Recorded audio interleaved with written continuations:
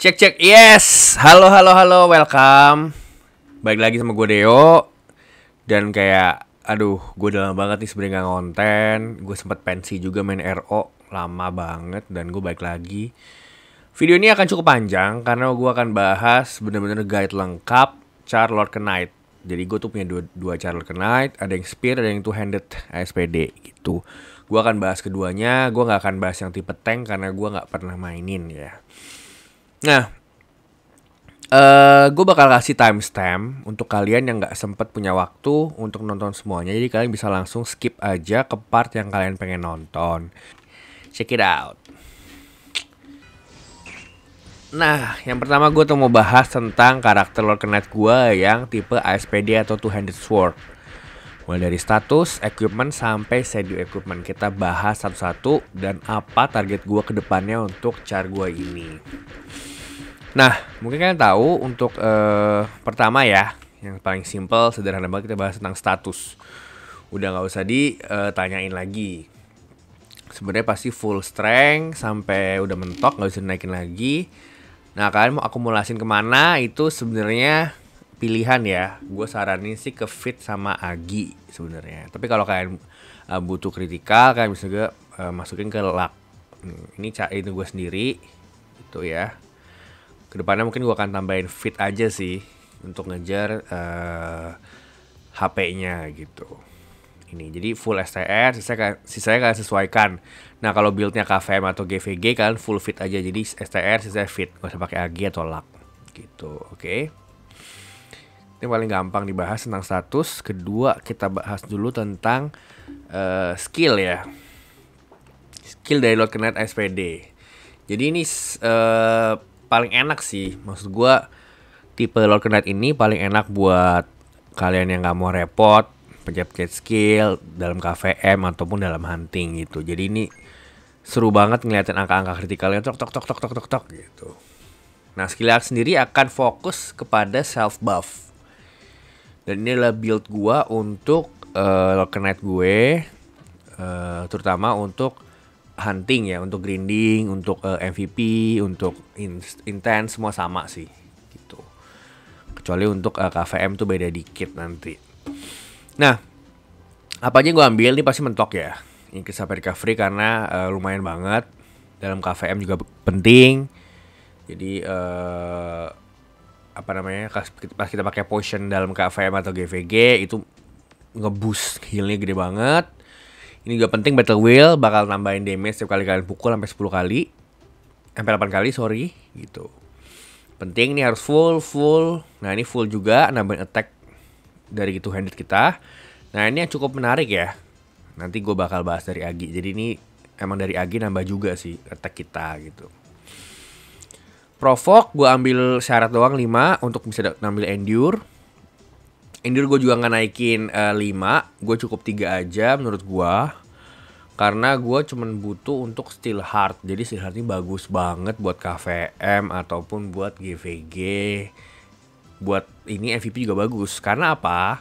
Karena dia akan ngurangin damage eh, 22% yang diterima. 22% tuh gede banget ya. Jadi kayak seperempat damage yang diterima itu berkurang gitu. Nah ini gue rencana mau naikin eh, mungkin sampai level 3 atau 4 lah untuk nambahin coefficient damage sama trigger time-nya berapa kali lipat sampai dia pecah gitu.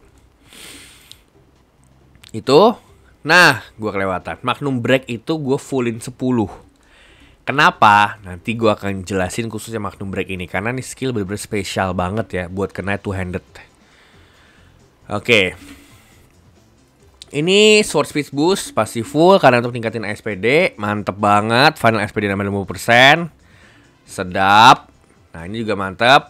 Dari Agi nambah ef- efek lagi gitu. Jadi second start kita sebenarnya Agi sih menurut gua ya. Double blow apa? Double blow bisa nyerang dua kali zat, zat, zat, gitu. Gua akan fullin juga bagus banget emang dan gua ini naik dialak juga ya. Nah, ini makanya disesuaikan ya lak sama aginya. Kalau mulai udah mulai naikin agi berat, misalnya naik poinnya di 5 ke lak.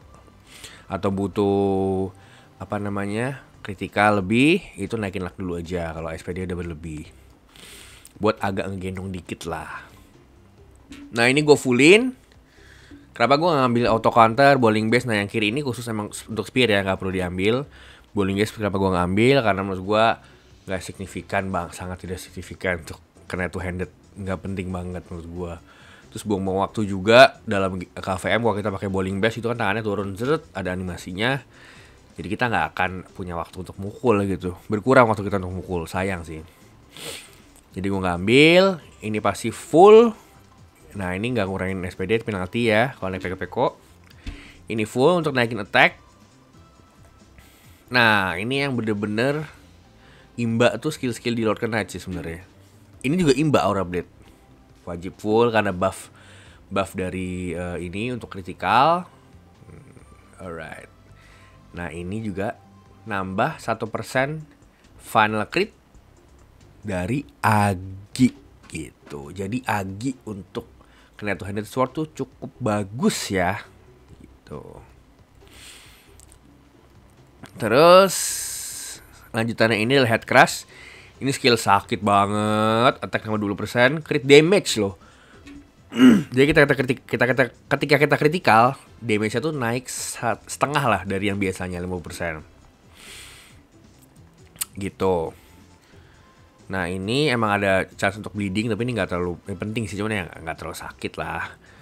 Nah itu yang bikin sakit tuh ini increase attack 20% sama crit damage. Jadi ini wajib banget sayang dia emang nggak mungkin bisa dipakai terus karena uh, berapa? 15 sorry uh, eh, 15 detik ya. Jadi durasi 15 detik. Terus uh, cooldownnya tuh 40 detik. Jadi emang nggak mungkin bisa dipakai terus tapi ini bagus untuk hunting buat KVM gitu nah ini skill wajib buat Locker Knight wajib banget kalian pakai kalian ambil full karena apa? Nambahin attack 10% attack 10% tuh gede loh kalau misalnya attack kalian 9000 nambah 900 itu gede banget. Nah ini dan gak cuma untuk kalian jadi untuk uh, party kalian. Full party. Ini mentokin lah. Ini bener-bener prioritas gua. Dan juga bersek. Skill imba di mana kalau sekali sekarat? Kalian sekarat nih set. Udah mati kalian pencet bersek darah kalian langsung full lagi dan darah kalian berapa? Nambah dua kali lipat. Jadi kalau kalian darah dua ribu jadi empat ratus ribu. Dalam, um, dalam arti lain berarti kena itu punya tiga darah. Jadi darah pertama habis bersek full lagi langsung dua kali lipat. Mantap bukan? Attack nambah setengah 5% movement speed nambah. Tapi eh, Nah juga dapat permanen endure, jadi nggak akan mundur-mundur tuh di kalau misalnya kena wizard yang pakai firewall gitu. Nah ini nggak akan, nggak akan kena gitu. Tapi mengurangi defense sama MDF 50% Gak apa, tapi ini mantep banget skill ngeri lah buat uh, kena two handed gitu. Kita nggak bisa nge-skill sih, kita nggak bisa nge-skill, kita nggak bisa pakai pot selama ini cuman ya bagus, not bad. Nah ini sebenarnya skill-skill yang cukup conditional ya. Ini dua ini weapon blocking mungkin kalau kalian mau KVM kalian ambil ini KVM GVG bagus bisa nangkis dan bales serangan dari sniper-sniper. Selama 5 detik eh selama 10 detik sorry. Cooldownnya 20 detik jadi kalian punya cooldown 20 detik. Jarak antar pakai skill ini. Nah ini mantap banget. Bisa ngeblok serangan musuh terus bisa balikin. Gitu. Eh sorry. Oh nambah nambahin physical damage bonus kalau kita ngeblok. Mantap. Gitu. Tapi kenapa gue lebih pilih ambil ini? Karena ini uh, cukup bagus. Kalau udah full ya level 10 kalau level 4 sih nggak terlalu signifikan ya benar-benar kecil lah nambahnya. Juga udah level 10 bagus kenapa? Karena setiap satu fit nanti kalau level 10 ya satu fit nambah dua attack. Ya lumayan jadinya. Gitu. Ini sebenarnya skill buat uh, tank ya kalau tank fitnya sampai 1000 berarti kayak kita nambah 2000 tag gitu. But not bad at all lah kalau kita ambil ini. Sama terakhir ini kalian boleh kalau nggak mau ngambil ini kalian boleh full concentration bagus juga. Kenapa? Karena kalian kasih kayak kasih mark gitu. Ini skill khusus MVP skill khusus uh, apa namanya MVP mini atau intense sebenarnya bisa juga dipakai buat GVG atau GVG susah sih nggak bisa. KVM bisa kalau kalian mau ngincer satu orang. Bisa kalian ngincer pris kalian concentration ke prisnya gitu. Nambahin damage 10% berarti di level 10 itu nambahin damage 20% ke satu orang selama 10 detik. Gitu. Dan kalian dapat endure satu party. Cukup simple sih untuk uh, kena two handed SPD fokus di buff aja sih fokus di buff gak usah terlalu pusing gimana gitu Nah, sekarang ke pembahasan yang paling paling complicated, rumit dan panjang yaitu adalah equipment build. Nah, ini sebenarnya preferensi banyak orang beda-beda ya. Cuman gue akan share uh, build gue dan plan gue ke depannya gimana. Nah, ini build gue. Gue memutuskan untuk pakai eco biru. Kenapa? uh, pertama refine lebih gede ya daripada putih efek refine-nya uh, tapi di bawah emas jadi tengah-tengah lah ini walaupun banyak, banyak yang bilang oh efeknya nggak bagus tapi menurut gue sih nggak masalah ya karena uh, apa namanya efeknya lumayan buat grinding yang velocity ini buat grinding itu lumayan buat lawan monster gitu kira akan nambah, nambah total 10% damage karena per bunuh monster dapat 2% sampai stack up to 5 berarti 10% damage kan lumayan banget ya. Nah, ini gue belum naikin ke level 50 karena bener-bener mahal banget bahannya, guys. Pakai Osiris Curse dan satu Osiris itu 2000-an dan butuh 250 Osiris Curse. Menangis. Jadi gue akan coba uh, lagi kumpulin koin gacha. Gue pengen coba try my luck untuk langsung gacha mungkin weapon level 60 ya nanti gua gacha gitu. Nah plan gua adalah gue pengen uh, kalau nggak dapet ini level 60 atau enggak gue dapet ini level 60 yang cincin STR mantap. Standar banget buildnya biru biru biru biru. Dan ini adalah uh, apa namanya uh, aksesorisnya gitu. Standar lah. 40 karena ngejar kritikal. Ini juga 40 ya.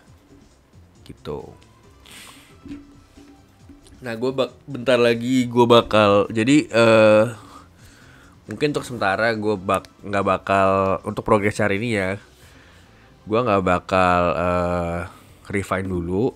Jadi apa yang akan gue fokusin gue akan fokusin upgrade uh, apa namanya upgrade awakening 4 ya. Jadi ini kurang dikit lagi 60 ini 60 nyala. Tuh. Jadi gue akan upgrade dulu sampai awakening 4 terus kedua gue akan enchant awakening 2 gitu di enchantnya awakening 2 jadi gue udah awakening 1 ya. Awakening 1 kan 18 18 dua equipment ini udah udah 3 malah 18 ini udah 16 dikit lagi dan gue bakal ke dua fokus gue naikin ke 21 jadi rata 7 ya. 777 atau 876 itu bisa. 21 lah pokoknya. 4 jadi rencana gue satu di sini baju sepatu uh, aksesoris dua. Ini bakal gue naikin ke level rata 7 biar nyala, nyalain enchant awakening tier 2 nya gitu. Sip. Hmm, gitu paling mentok mentok mentok gue mau tempa ini ke 5 aja dulu yang biru senjata upgrade ke 60 dan baru uh, eh ini dulu upgrade awakening 60 60 baru ini ke 50 eh ke, ke 60 senjatanya. Baru gue enchant. Enchant uh, TR2 di mana ini gue udah STR ya STR STR STR kebanyakan. SR STR SR SR STR lagi SR Fit. SR SR SR jadi itu nah eh uh, kita bahas kartu ya kita bahas kartu. Dari ini dulu. Marduk 3 ya. Ini gue pasti Marduk 3 standar lah ya standar untuk tiap uh, job physical. Pasti Marduk final physical damage bonus. Kenapa gue gak pakai Benny Maru? Karena waktu event gue lagi pensi jadi gue nggak dapet eventnya. Tapi Marduk bagus banget sih udah. Gitu tiga Marduk. Di aksesoris gue pakai pakai di aksesoris gue pakai apa? Pakai golem dua sama pakai Obeanu. Gitu. Gua kayaknya udah cukup nyaman lah pakai dua tiga ini. Karena hmm, di KVM berarti resistance stun gue 40% 30% Obeanu tambah ini stun resistance 10% aja 40% tuh udah lumayan jadi bikin gue jarang ke stun sih. Walaupun kadang-kadang masih suka. Dan gue suka uh, gue lagi di monster yang yang bisa ngestun gue farming. Jadi gue suka lah build Obeano ini. Paling mungkin nanti ke depannya gue mau cari marine spare kali ya. Marine spare untuk gantiin ini untuk grinding. Sama Obeano satu lagi sih. Kalau untuk KVM gitu cukup simple golem. Golem. Uh, armor gue masih kosongan. Ini masih dapat dari awal-awal main. Karena apa? Karena gue mengejar kartu yang 20% nanti di level 70-an HP-nya jadi tanggung kalau ke kartu yang uh, eh, 12% ya mati sama hode. Jadi gue tuh mau ini loh. Mau ke kartu nih ini adalah Skypetit 20% shoesnya itu dagger wielding 20% clocknya itu marionette. Kita 60% HP rencana gue ini. Ntar gue bakal grinding di level 20an sampai mati sampai dapat kartunya. Gitu. Karena kalau di sini HD kan uh, sorry 12% ya. Nah akan jauh 8% ya. Kenapa gue nggak ngejar kartu armor dulu karena itu makanya gue kejar golem waktu itu awal main sama kejar uh, Marduk. Oke, untuk kartu di senjata. Nah, ini yang menarik ya. Gue pakai Requiem satu. Nah, ini skeleton worker gue rencana gue gue pengen ganti Requiem lagi. Pengen ganti Requiem satu lagi. Jadi dua Requiem satu Anubis. Itu plan gue. Nah, gue sampai sekarang udah level 9 gue masih ngehan di Requiem Walaupun udah 60% XP-nya karena gue lagi nyari kartunya. Semoga cepet dapet. Kenapa gue pakai Requiem? Karena Fire Enchantment tuh imba banget guys. Untuk uh, Knight apa namanya Knight uh, ASPD. Kenapa? Pengen lihat. Pengen lihat ya. Karena ada yang namanya skill spesial yang tadi gue bilang, skill Magnum Break kita baca ya. Magnum Break. Nih, after casting this skill, this skill, your weapon will gain the fire attribute. Itu pertama. Jadi senjata kita jadi fire. Dan kedua, normal attack will deal 20%, 20% more damage. Gila nggak? jadi pakai Magnum Break, attack kita nambah 20%. Itu baru dari efek matum mereka doang. 20% selama 15 detik. Nah kalau kita berubah jadi fire atribut dan kita pakai requiem 2 satunya itu berapa? 10% berarti kalau 2 20% berarti 20 kalau pas kita lagi magnum break 20% tambah 20% damage akhir ya semua dijumlahin damage-nya semua dari attack dari critical semua dijumlahin terus ditambahin 40% karena dari ini 20% requiem 2 biji 40% itu gila banget. Itu imba banget ya. Jadi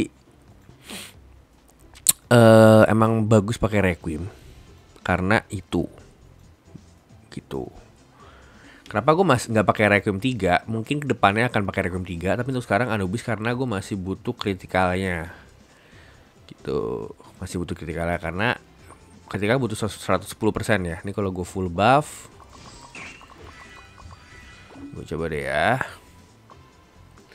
Gue matiin dulu ini sama ini. dulu.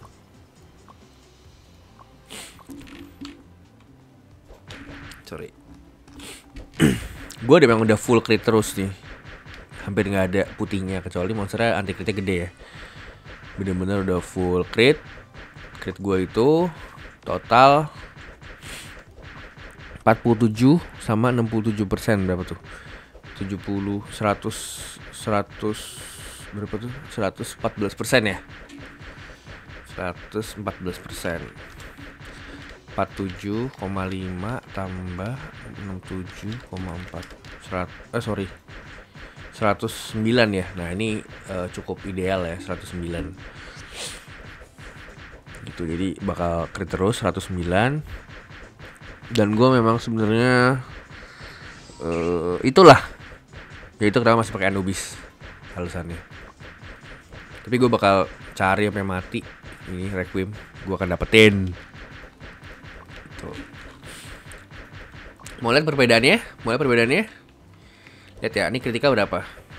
Bisa lihat gitu, 37 ribu ya. 37 ribu sekian lah. Oke. Ini bukan Udinami itu bukan elemen uh, Bukan elemen Earth ya Yang lemah sama api. Ini berarti Undead itu uh, netral sama api. Jadi 100% damage ya Kita lihat.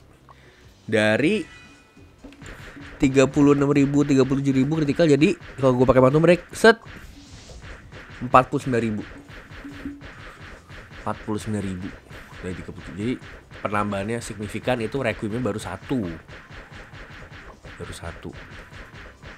Kalau dua lebih mantap lagi. Tuh ya kenapa? Gue pakai requiem Memang ada kelemahannya karena kita kena two handed spear, eh two handed uh, sword.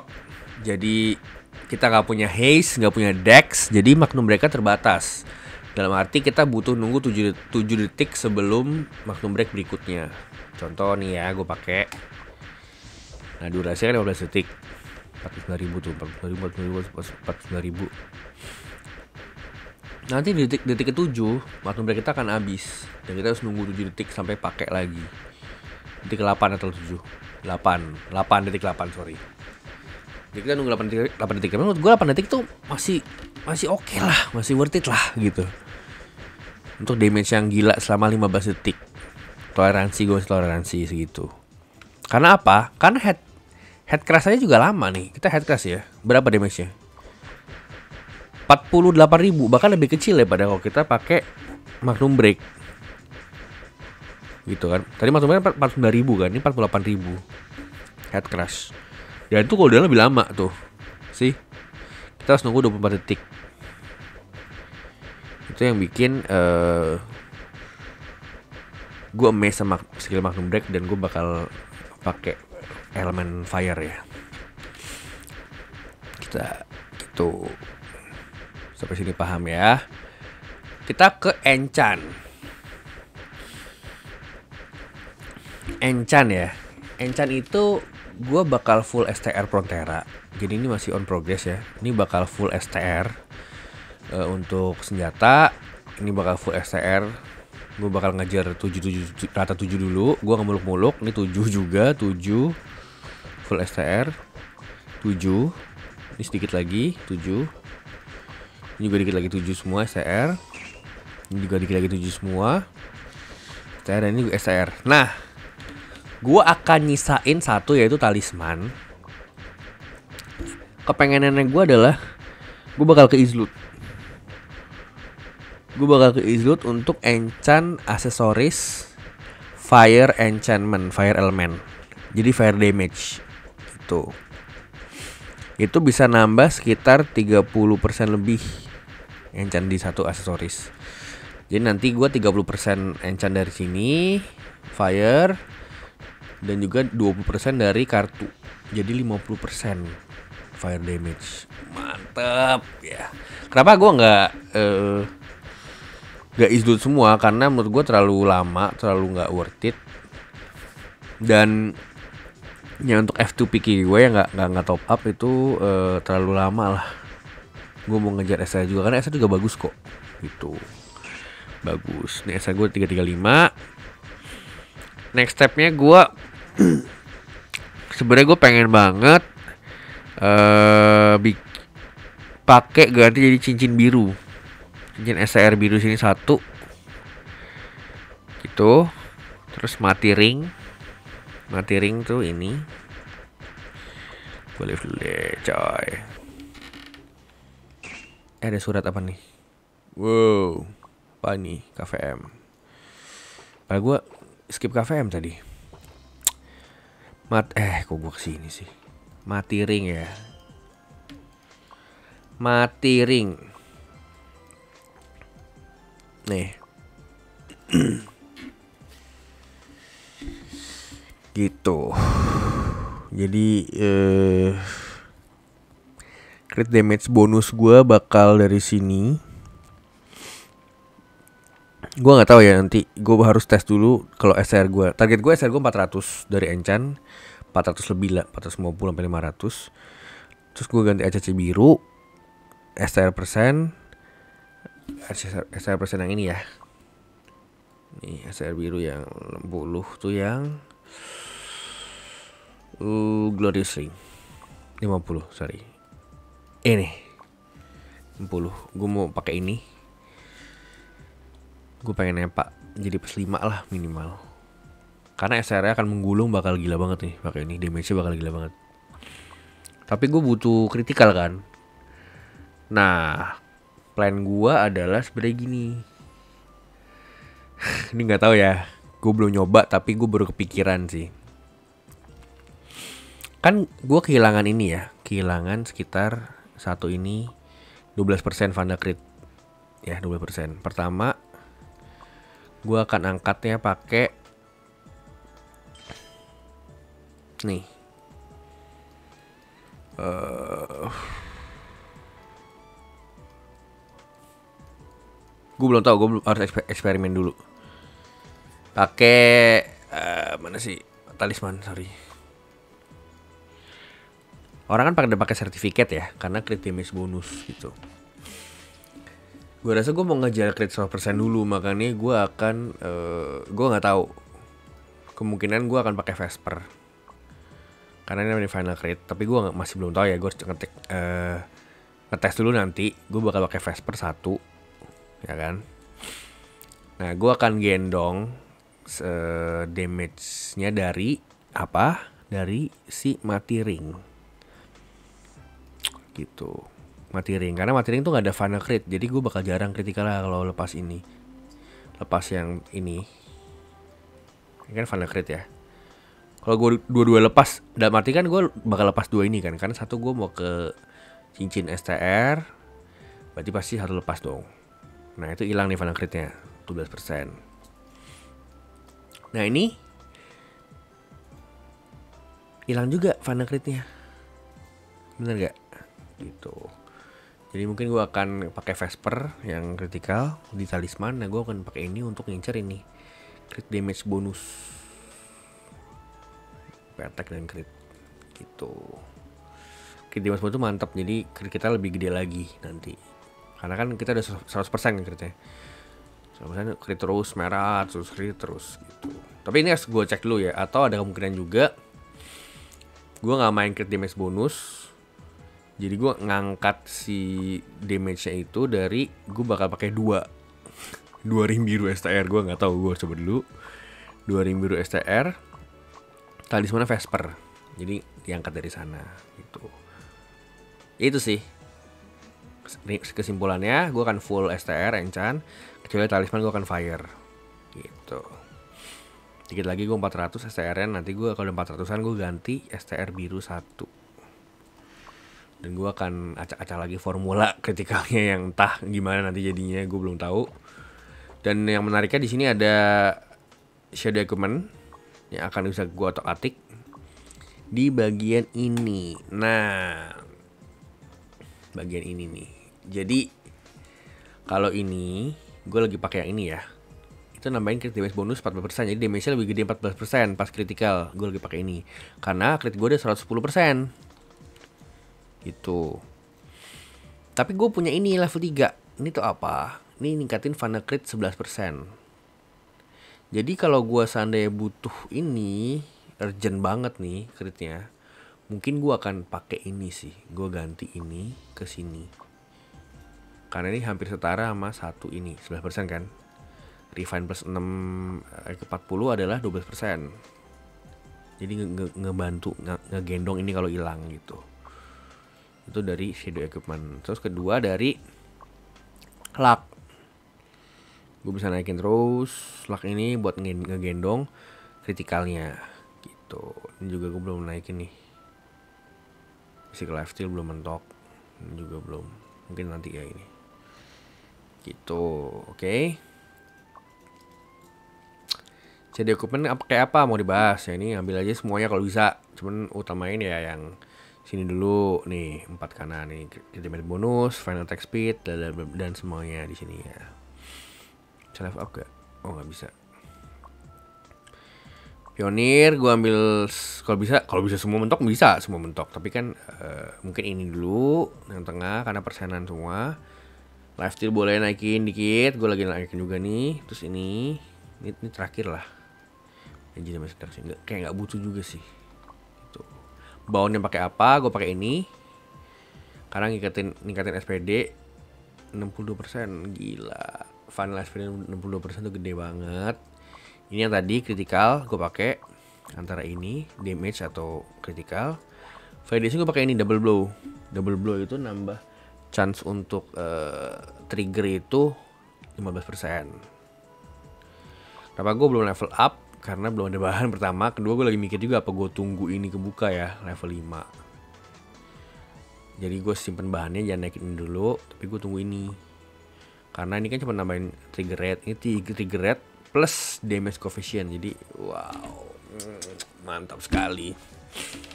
Itu itu sih untuk uh, build Lord Knight apa namanya two handed gua ya semoga bisa memberikan inspirasi build lah kayak gimana enaknya. Gue akan coba nih ya biar kalian lihat untuk uh, full test DPS ya.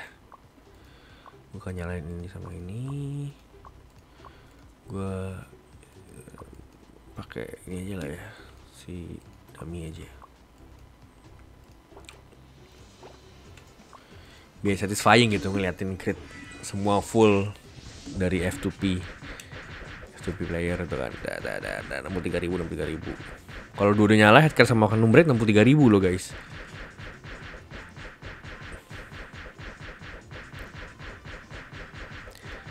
Mau lihat ini ya potensi maksimalnya kalau build kayak gini. Kita pakai yang large dan earth. Gile. Bigfoot. Bigfoot sih Bigfoot sih. Damage nya aduh nyawa cuma satu lagi ya. Oke lah coba nih. 140 ribu. 140 ribu tuh. Pukulan kritikalnya 145 ribu. Gitu. Memang kalau untuk uh, apa namanya idealnya itu satu kartu itu Drake. Drake card karena fire atributnya 15% dan ilangin penalti ke monster stock uh, small sama medium. Karena kalau LK itu cuma 75% ke medium sama small. Jadi dia fullnya itu ke large. Jadi gue cobanya ke large nih. Kalau potensi maksimalnya gitu guys. Oke. okay. Nah, pertanyaannya mungkin kenapa gue nggak pakai uh, Fakri atau Murphy? Pertama, gue uh, seneng grinding ya, jadi gue pakai ini. Kedua udah telanjur plus 5 semua. Gue capek lagi mau refine ungu. Tapi ya kita lihat ke depannya gimana. Mungkin walaupun ganti, mungkin gue gantinya bakal ke uh, Murphy aja sih buat PVP. Fakri kayak males ngumpulin Fakri koinnya karena Fakri koinnya udah gue jual semua demi buat upgrade dan lain-lain. Gitu. Kalau guild older, older kan masih banyak tuh jadi mungkin Murphy masih mungkin ya. Gue tema tema paling plus 4 lah maksimal. Gitu. Gue pengen nih plus 6 eh plus 7 7 7 7 sama sepatu. Biar nyala Refine Awakening ya. Ini gue 5 ya cukup 5 lah udah cukup ya. Capek abis turun nih kemarin. Itu ya sekian build dari Lord Knight two handed gue. Oh apalagi? Oh pet pet pet. Pet gue pakai ini standar lah ya. Grace Hopper karena apa? Ada crit sama SPD eh standar. Sip itu aja mungkin. Kalau ada yang kalian mau tanyain boleh komen di bawah atau diskusi-diskusi. Mungkin pernah ada yang pengalaman terutama untuk aksesoris ya. Pernah nggak bikin build crit terus ganti ke aksesoris STR itu hasilnya gimana? Gitu terus pakai Vesper atau certificate itu hasilnya gimana thank you. Uh, nextnya gue akan ngomongin tentang build Knight Spear. Stay tune terus